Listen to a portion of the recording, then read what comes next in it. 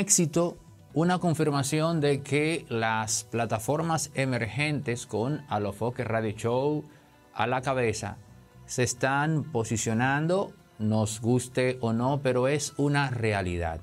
La presencia de Luis Abinader justo un día antes de dar su discurso de rendición de cuentas del 16 de agosto en una entrevista exclusiva para esa plataforma, revela, confirma el desplazamiento de los medios convencionales y algo que pronostiqué cuando trabajaba con Francisco Tavares en la plataforma Tendencias en La Roca.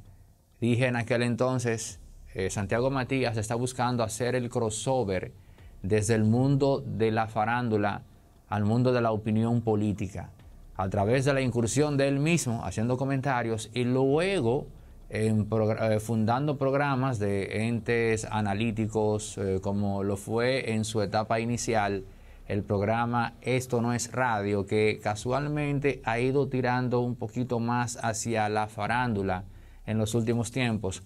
Pero amén. Ahora, luego de, digamos, felicitar a un colega como Santiago Matías, que se da el lujo de entrevistar al presidente del país, luego de eso, y aclarado esto, no, voy a la parte que en verdad me interesa en el juego de poder una entrevista que no debió ser. Me explico, de cara al colega, felicidades por el palo. Ahora bien, de cara al presidente Luis Abinader, un boche. Un boche al equipo de comunicación estratégica, que de estratégica no tiene absolutamente nada. Una soberbia estupidez la presencia del presidente en esa plataforma un día antes, oigan bien, un día antes de un discurso de rendición de cuentas. Luis Abinader no es una persona estúpida, no es un oligofrénico, pero tampoco es una persona reconocida por una gran verbigerancia. ¿Y qué quiero indicar con esto? Que no creo que Luis Abinader sea la persona que tenga la facultad de en dos días consecutivos dar dos discursos disímiles e interesantes. Con toda seguridad, de una forma u otra, Luis Abinader se va a repetir. Y esa entrevista, que está pautada inicialmente a salir un día antes de esa rendición de cuentas, lo que va a hacer es matar el impacto. El impacto del discurso como tal. Así de simple. Por eso es tanto así como que 2 más 2 es 4 una estupidez comunicacional. Esa entrevista se puede grabar y sacarla un día, dos días después, pero nunca un día antes del discurso de rendición de cuentas. Estamos presenciando la metida de pata más grande que ha dado el gobierno en materia de comunicación política una entrevista en la plataforma más importante, hay que decirlo, no se puede ser mezquino. A lo que está por encima de la Z101, está por encima de RCC Media y Antonio Espaillat. Esa es la realidad. Y cualquier persona que vaya a competir con él tiene que hacerlo aceptando eso. Porque ese es el primer paso para poder competir, reconocer que está en la cima. El individuo a depredar está en la cima. Esa entrevista le conviene a los le conviene a la plataforma. La única razón de ser que yo veo de esa entrevista, oigan bien, es, y así es que lo leo, una decisión personal del presidente en aras de congraciarse con Santiago Matías. Porque no puedo creer que su equipo de comunicación política le haya dado el go para que se exponga un día antes.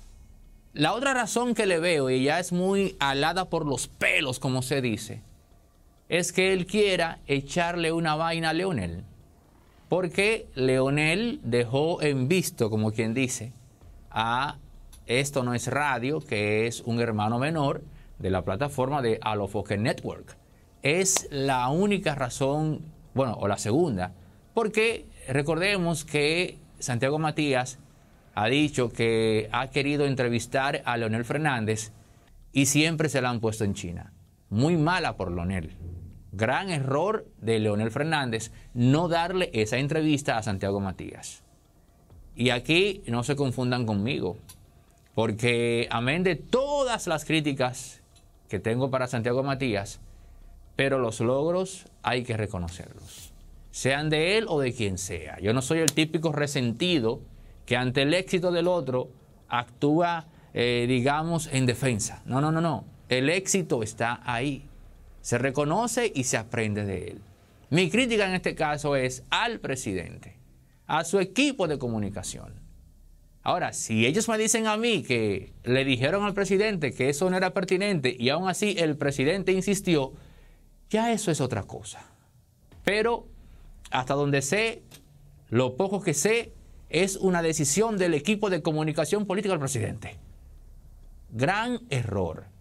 Esa entrevista, que no es que no la den, debió salir días después del discurso de rendición de cuentas, no un día antes, porque le va a restar fortaleza, le va a restar impacto, porque en un mayor o menor grado el presidente va a repetir ideas.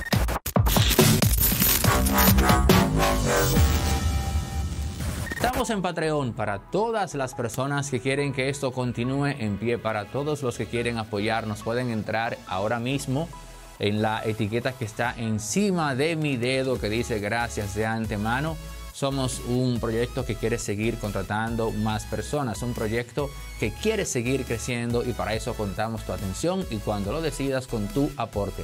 Gracias de antemano, ya llegamos a los 200 mil suscriptores en la plataforma principal, impolíticamente correcto. Llegamos ya a 100 mil seguidores en el fanpage de Facebook y en esta vamos rumbo a los 50 mil. Así que Gracias al apoyo de todos ustedes, seguimos en pie. Conéctate con el sol. Energía eléctrica de manera ininterrumpida para que tu vida cotidiana no se detenga. Llama ahora mismo o escribe al número que ves en pantalla para que entres en contacto con los expertos en la instalación de paneles y celdas fotovoltaicas. Ser Solar.